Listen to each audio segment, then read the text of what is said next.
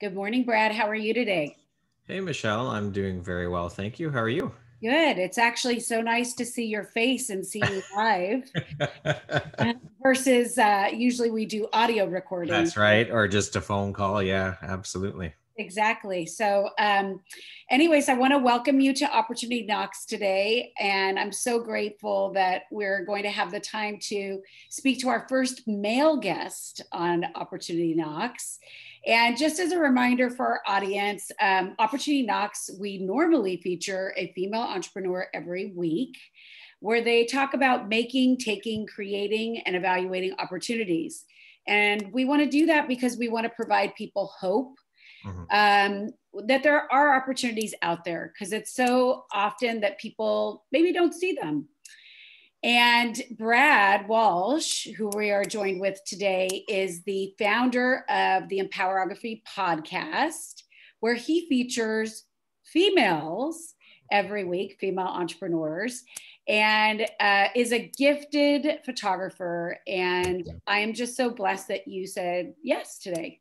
Well, I'm actually flattered and honored to be the first male guest on Opportunity Knocks. So thank you very much for that. I am honestly beyond flattered and honored to be here. So that this is a big one. Thank you. well, you know the way I feel about uh, supporting others, and I think you do such an amazing job of shining the light on so many talented women, um, including obviously you just finished your first summit, right? Yes. I guess you know, or, or retreat or whatever. Yeah.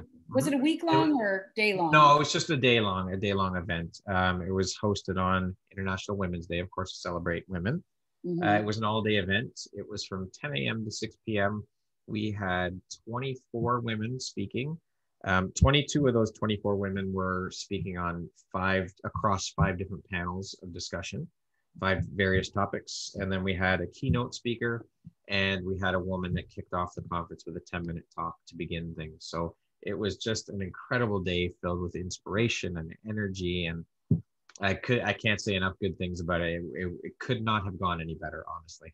I mean, and how amazing is it that you basically spent a day as a male, you know, yeah. you know, dedicating your entire day to highlighting women and yeah. the amazing things they're doing in this world to move it forward. Yeah, it, it was amazing. I had a co-host. I did not do this all alone. I can't I can't take full credit for that. Um, I had a co-host because I thought that it would probably be a better idea because the day is about celebrating women that I take a back seat. Mm-hmm. Um, and I had my co-host kind of take over the emceeing duties of the conference. I just piped in here and there um, because the day is about women. I figured why I'm not going to take the spotlight away from anyone. Mm-hmm. I'm a male. I, you know, it's not my day. So, did you did. play a role at all in that day? Curiously, because I unfortunately wasn't able to tune in because I was doing my own um, stuff on International Day of the Women. But what um, did you play a role? Because I do think yes. I actually do think it's important that you are highlighted as well. Yeah, I did. I was involved in it. Um, my co-host Cecilia Tement, she did most of the questioning um, for our panels, but I piped in on with different questions as well. Um, gave a little bit of insight and feedback here and there, but the day was about the women. It wasn't about me. It was just about the event and celebrating women. So I figured it was best that I don't take it up much of the spotlight for that matter. I mean, all the women who participated know that it was my event and that I was a big part of that, and I was it was my brainchild. Um, but I figured it was best to let the women just be highlighted. And, and mm, I think that's very, uh, very kind of you, very humble of you to take that position. Thank you. Um, says a lot about your character. Well, thank you very much, Michelle. Yeah. So um, what I wanted to do was first, you know, kind of start by t- having you know you tell the audience a little bit about like how did you come to doing the podcast for empowerography but how does your photography sort of play into this as well because i think that was one of the things i learned about you that i was like oh that's interesting it was such a, it wasn't as linear as one may have thought you know right mm-hmm. Um, well, photography is a huge part of my life. It's it's been a part of my life for many many years, um, and I am involved. I'm a boudoir photographer. That's my full time business. So I'm already well involved in women's empowerment and body positivity and self confidence and all of that amazing stuff um, through the boudoir photography. But my journey as a photographer obviously didn't begin with boudoir. I was more on the side of landscapes and architecture and creating art. Mm-hmm. Um, I didn't want to photograph people. Actually, I had no desire to photograph people. Interesting. Yeah, it's it's funny the way things work. I mean, it, it just happened to work out this way. Um, I've had my business for 11 years, and while I was building my business part time, I was working at an accounting firm as an audiovisual technician. And it was through that job or through my career there, because I was there for 12 and a half years, wow, that's a long that time. I found a love for photographing people. I was um, tasked with the responsibility of doing the corporate headshots for the professional staff at the firm. And that's where I fell in love with photographing people. I loved that I got that connection time with each individual as I sat for their portraits where I could learn a bit about who they are. And I just, I really enjoyed the human connection. And that's where my love for photographing people started. And a few years following that, I was introduced through a mutual friend to a boudoir photographer who's based in Florida. And I fell in love with her work. And of course, the message behind boudoir was what you can accomplish and help women feel confident and love their bodies and instill these values, help instill these values in women through the photography. Um, I ended up mentoring with this woman for six months. And when I was done my mentorship, in Florida or yeah. in Canada, because you're in Canada. Yeah, we just yeah. mentored, did mentorship over Zoom calls and phone calls and whatnot. And she basically mentored me for six months. And when I was done, it was one of those light bulb moments or lightning strike moments. I just knew that that's the direction I have to take my business when I do make the jump from corporate life to entrepreneurship. And um, my daughters are a big, big part of that as well. I have two daughters. They are now 20 and 22. Mm, and they that. are a huge part of why I do what I do with the podcast and with the photography. Um, a big part of that comes from the fact that they were both bullied as kids. Mm. Um, my youngest was bullied by both boys and girls verbally and physically and my oldest was bullied by girls verbally and mm. to see them as a to see them go through that as a parent is heartbreaking and yes. it was a horrible thing to go through and i feel for them my heart broke for them but i think what was worse as a parent was seeing the different stages of their lives that they carried that with them mm-hmm. from uh, elementary school to preteen years to teenage years and then of course now their young adult lives the effects are still very prevalent and it's heartbreaking and thinking about that or looking at that from a, through a wider lens the fact that there are millions upon millions of young girls and women who go through and deal with that on a daily basis and have it affect how they see themselves and that they don't love their bodies they don't feel good about who they are they don't feel confident mm-hmm. so with boudoir photography if i can shift that mindset just a little bit of my clients who come through the door for a shoot and have them leave feeling confident in who they are and loving their bodies a bit more than when they first walk through the door that's what it's about for me being able to instill those values and help women see their true beauty because every woman is beautiful. Yeah i agree with you. And i think the thing is is that we know that one of the largest things that women are challenged by is is self-judgment right? yes, and sure. um, yes confidence uh, is another one of the obstacles that they have as well. But yeah. tell me a little bit about your process. Like how do you help somebody feel more confident because here they are in in their most vulnerable state yeah. you they're entrusting themselves with you yeah. you yeah. know? Well it, it's honestly the process really starts from initial contact when when they reach out to me when potential clients reach out to me. Um, that's where the process starts is building that trust and rapport with them. I always make sure that they know that there's an open line of communication if they have questions, feel free to reach out at any time. I have a questionnaire created that I go through with each one of my clients or potential clients, asking them different questions. And of course, the first question or the most important question for me, anyways, is why are you doing this? Because mm-hmm. so often I find that women will say, Well, I'm doing this for my partner, That's my husband, my wife, whatever the case mm-hmm. may be. And to me, that that's the wrong not i don't want to say the wrong reason but you should be looking at this like you're doing it for you first and foremost mm-hmm. to help you deal with any issues any confidence or whatever it is to build yourself up mm-hmm. yes of course i mean the images are just a byproduct of the experience it, what it is is it's about the whole experience of shooting and and having that experience of empowerment and feeling beautiful and feeling sexy and feeling amazing about who you are Mm-hmm. So um, that the, we go through the questionnaire. Um, and another thing I like to instill or tell my clients that so often boudoir gets associated with lingerie. Mm-hmm. That's the mm-hmm. first thing people think. I tell my clients that you don't have to wear lingerie. It's not a prerequisite. You can wear whatever makes you feel beautiful, whatever yeah. makes you feel confident, whatever makes you feel sexy. If that happens to be a pair of jeans and a tank top, so be it. Let's go. We'll do it. Mm-hmm. Um, I'm also constantly during the shoot keeping it light.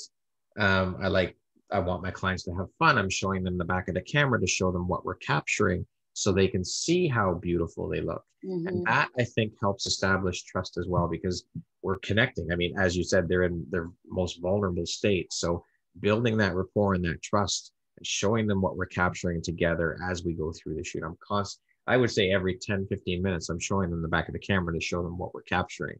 Yeah. Um, so they're not sitting there wondering, well, is this guy getting any good images? Like, what exactly. do these images look they like? They feel like they're a part of the process. Yeah, exactly. They're just they're not just feeling like you're witnessing them. It's yes. actually an integrated experience. That's right. That's right. Yeah. I mean, which makes they, it beautiful. Yeah, I mean, when they come in, they have an hour with my makeup artist. They get their hair done, they get their makeup done, so they feel beautiful and totally yeah it's it's all about that. It's all about the experience. Um, wow you're making me want to do it. I've never even thought about it.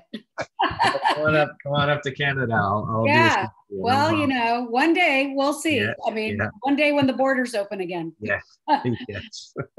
Exactly. So then how did you parlay the boudoir photography into empowerography? Like do you uh, it's interesting to me because i'm sure right now most of your interviews are on zoom like mine are right? Yes so do you sit there so i think about yourself you're an artist right? Like right. a photographer is an artist right? Yes. so do you ever sit and say to yourself like as you're staring at someone wow i wish i could capture that on film. Oh, yeah. Oh, wish, you know what i mean? Like oh that expression was so perfect or whatever it is you know? Yeah. Um, well the whole podcast was born out of covid actually. I mean um, last march we were at the point where i can't photograph any sessions. So I thought, you know, I heard so many people complaining about the fact that they're stuck at home and this isn't fair and they don't know what to do. And I just thought, you know what, I can't be part of that negativity. I don't want anything to do with that. I'm going to actually take this time that every single one of us humans on earth have been given right now and flip the narrative and do something good with it, do something positive.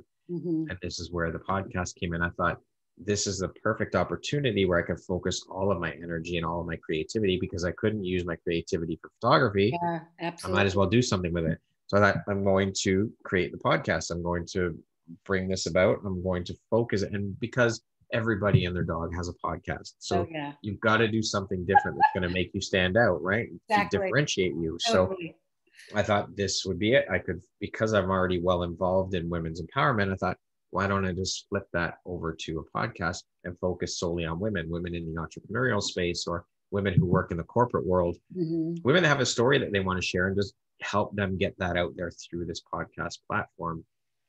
So that's where it was born out of. Um, it's uh, it's been an incredible year. Um, I just I really I just started reaching out to women on Instagram explaining a bit about amazing how we can make relationships so easily yes i know all the negatives that people say about it there's so many positives There right? is 100 i couldn't agree with you more. There are downsides to it let's be honest. There's a yeah. lot of downsides to it but there is a lot of good that you can accomplish with it. So i began reaching out to women on instagram and the response was so overwhelming michelle. Women were so happy to hear that a man had created a platform such as this to help elevate them, to help mm-hmm. amplify their voices and get their stories out there. And it honestly, I mean, I set the goal that I would create 52 interviews. Um, and of course, at that point in co- with COVID, I thought, and I'm sure the rest of the world thought this as well, three or four months and we should be out the other side of the pandemic. I'll have this content created. I can get back to shooting. Yes. I kind of have my cake and eat it too and do both things. But of course, that didn't happen. So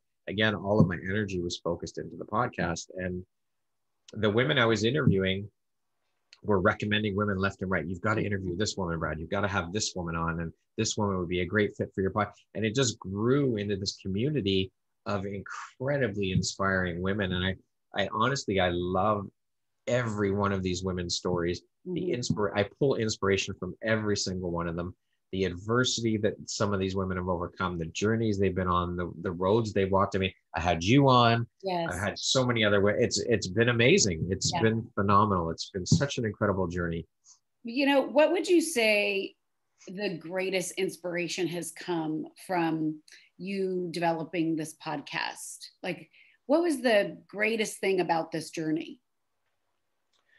Hearing the women's the inspiration I pull from the women's stories. It's that's it's that simple that being able to sit down with each woman and hear their story and have an impact on others. The Mhm. goal of the platform is to reach, help, and inspire as many women as we possibly can together as a community because that's how I look at this now. This podcast doesn't even belong to me anymore. It's the community's podcast. It's all of ours. It's a community effort because without women like yourself and all the other, oh, there is no podcast. So for me, it's having an impact. When I get messages from women saying, thank you for what you're doing. This is amazing that a man has stood up and taken on this this role to help empower women. That is the inspiration I get. So tell me, you know, when you say to yourself, okay, this started during COVID, like, Mhm. you know, obviously you have a growth mindset because you just pivoted and you were like, okay, what can I do to provide something positive to people? Yeah. You know, now the podcast is up and running, and Yep. hopefully by June we will be a little bit more open, right? Here's the hoping. So where do you see this going? You know, because like you said, a million people have podcasts out there. Yeah. And I think a lot were sort of, you know, Buzzsprout and all these great, you know, uh, platforms to host Yeah. all these podcasts probably grew exponentially during this time. oh, I'm sure they did. um, but tell me for you, where do you want to go with it? I see this becoming my ultimate goal for the platform is to turn this into an in-person women's empowerment conference that travels around the world. That's mm-hmm. that's my I ultimate I love that goal. idea. That's I that's where I want idea. to take it. That's where I see it going. And I I'll be set the to help you. intention. Pardon me? I'll be there to help you. Awesome. I love that. Any help I can get is greatly appreciated. I mean, I set the intention for myself at the beginning of this year that within the next three to five years, I will have put on and got under my belt my first in-person women's empowerment conference. And that's why we started this year with the online in the online space. I mean, obviously we had to, but I figured why not get my feet wet with starting with an online conference. And we plan to do it again next year, um, 2022 on Mar- on March 8th to celebrate International Women's Day again. And how beautiful is that that we did get to start online? Yeah, so it's of the things that we probably were avoiding yeah, became much easier for us to accept. for sure. Yeah, it, it was an incredible experience. Um, I do also want to, when things do open up, as you said, hopefully in June or July, whatever the case may be. I know that things are a little bit worse off here in Canada than they are for you guys. Um, but I would love to host retreats, in person retreats, more intimate gatherings of, say, 10 to 15 women for a Mhm. weekend retreat where the women can bond and, and become closer and through different activities and have different experts at these retreats. Um, I want to host masterminds online and I there's so Yeah. many things and so many places I want to take this thing.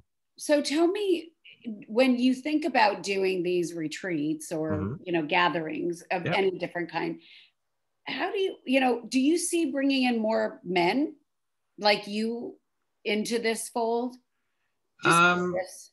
I haven't honestly I haven't really thought about that. I think we do need to bring more men into and make more men aware that this is an issue that needs to be worked on and we, and more men do need to get involved in it for sure 100% because as far as I know I I don't personally know of any other men doing anything like this so I think that gives me a unique advantage too because I've created this niche um, where I've got the podcast and want to further that and grow it. Um, I guess eventually I would like to have men involved in it. Um, but I think for now, over the next little while, I think I'll just keep it focused on women. Mm-hmm. Okay, Yeah. that sounds great. So, do you have an inspiration? Is there somebody that you look to in your life and say, wow, I look up to this person because of, you know, or every day I use this as my mantra? That's totally different, a mantra and Yeah. Um, before, but my- just curious. My mom and my grandmother and my daughters and my wife, they are they are why I do this. They are the the entire reason. I mean, my mom and my grandmother, without them, I wouldn't be the man I am today. And Mm, because lovely. of their strength and courage and what I've seen them go through in their lives, um, they they are it. They are why I do what I do because Mm, of what they've given to me. It's my way of giving back and saying thank you with this platform because of what these women have brought to my life is my way of saying thank you and giving back to women to help elevate and amplify their voices because of these five women. that's so beautiful. Thank you. And do you set intentions every day? Do you have like something that you look? Is there you know particular thing Um, repeat to yourself? I just try to do my best. Um, I, I think it's important. I think something that we need to instill self-limiting belief, as you mentioned at the outset, is a huge problem. So, I mean, I struggled with that for quite a while, and so it's just reminding myself that you know what, there there is no competition. I te- I tell myself there is no competition for me. My competition, the only competition I have is me. As long as I'm improving, that's all that matters. I don't care. It doesn't matter what other people are doing. I'm not in competition with. There's enough for everybody to go around. There's abundance for everybody. So that's basically what I. That's my thing that I tell myself. Well, I think that's where we uh, resonate with one another because I am very similar. You know, Yeah. um, I, I yeah, I believe just like you do that I was brought into this world to serve people, Yes. and I couldn't see that as clearly probably earlier in my life, but Right. I feel like um, I'm not. People may call that dreamer mentality, but I actually believe that it's attracting. You are what you attract Yes. right? So think Sure. about all the goodness that you brought forward to everyone, and look how all of that's coming back in spades to you. Yeah. Yeah. For sure. That's yeah. I can honestly say that within this last year, since I started the podcast, I wholeheartedly, with every fiber of my being, believe that this is my mission and my purpose in life is to give back and impact women and elevate women and amplify their voices through the podcast and through my photography. This this is why I'm here on earth. And yes, I found that a little later in life, but I found it. So You that's what's important. you are too kind. So um, I would love it if you could share like a tidbit, like something, you know, that only you know secretly your mom or your um, or your grandma or your wife might know about you, like something that motivates you or drives you. Oh, um, just seeing them and what they've accomplished in their lives. That's just knowing uh, what they've been through and what they've gone through, and what they've done in their lives. Um, seeing how courageous and, and amazing they are and their determination to succeed. That's that's it. They are they are the inspiration. They Mhm. are everything. Seeing what they've done. I mean, when I was a kid, my mom left my biological father when I was 10 years old. And of course, back in those days, the women stayed home to look after and raise the kids while the husband went out to work to support the family. So, looking back on that now as an adult male, the incredible strength and courage that my mom had to do that, to just pick my brother up and I and leave. I mean, we left with nothing. We took the clothes on our back and that was it. She had to reintegrate back into the working world after being out of work for over 10 years Wow. she had no choice. Um, so that courage and that strength, I mean, my grandmother helped raise us. Mhm. And then my wife with all that she does. And these women are just incredibly strong women. And I pull all of my inspiration from them. Mm, I love that. That's such a what a beautiful tribute and gift uh, to be surrounded with women of strength, by the way, and Yeah. of resilience. Because really, Yes. the word that came up for me was really around resilience. uh, Yeah. related to your own mom. So, um, what I would love for us to do is make sure that people know where to find you, Oh, sure. Yeah. So that when the borders open, yeah. but we don't have to wait for then you know No. there's obviously a lot much wisdom for you to be sharing so i'd love for people to know where they can contact you and Sure. the best Yeah. way Yeah, they can um, follow me on Instagram at Empowerography Podcast. Um, I'm always looking for guests. So if there are women out there listening that feel they want to share their story, just feel free to reach out to me. You can reach out to me at empowerographypodcast at gmail.com. I'm always looking for guests. You can check out my photography work at visuphoria.ca. That V I S U P H O R I A.ca. My podcast is currently hosted there as well. Um, you can find my podcast on Apple, Spotify, Stitcher, all of those platforms. I'm actually now currently working on separating my photography brand from my podcast brand. So I'm working on a web building a website for the podcast. So that should be up and running in the next month. Um, yeah, that's that's it. Well, I think that though, you know, what I will say, having participated in your podcast, um, he asks amazing questions. Thank you. He is uh, he's a pro at it, and he definitely makes you feel like you're such a part of the process. And uh, it, it was great actually being interviewed. I'm glad. I'm happy to hear that. A lot of things, and that was actually super great. But I do Thank have you. one last question. Sure. Because I meant to ask this earlier, but I was super okay. curious. So you know, it's interesting. You worked in a very stable work environment yeah. in accounting. Yeah. Even though you had a specific role, was more creative. Yeah. Um, and then you kind of moved in this very dynamic, almost um, unknown. Like so many people mm-hmm. know nothing about your industry, right? Yeah. Mm-hmm. Um, so what was that transition like?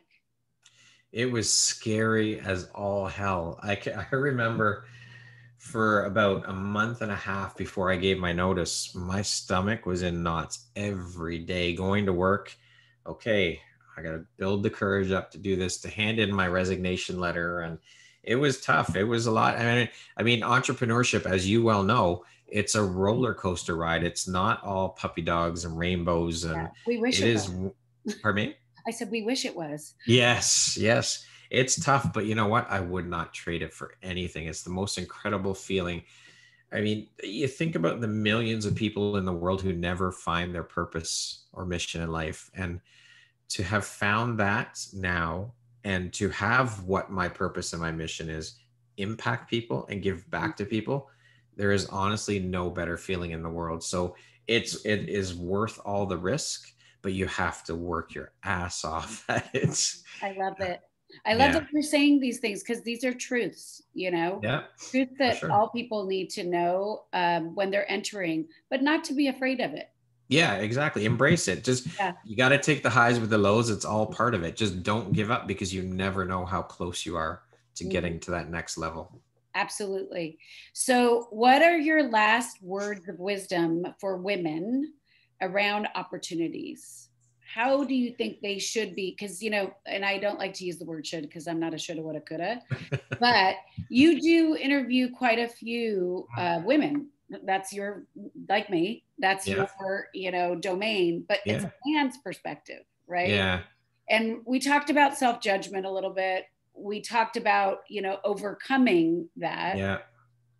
But what would you say to a woman that needs don't don't let that self-limiting belief stop you. Go after everything you want because you can honestly accomplish anything you want in the world. You just have to put in the work the the self-limiting belief is the biggest demon you've got to battle. So do the self work do as hard as it is do that work and conquer that and you can do anything. If you can do that you can get past the white noise from all the other external sources that you have to deal with.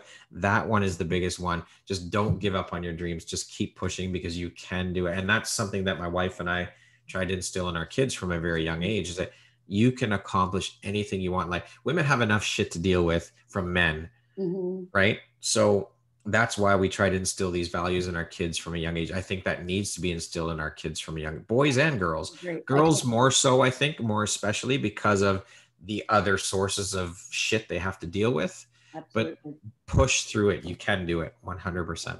Mm, well, I love that message. And I'm just so grateful that you came on today and you know sharing your wisdom but from your heart and really you know sharing what you see from other women because that's how we learn. That's right.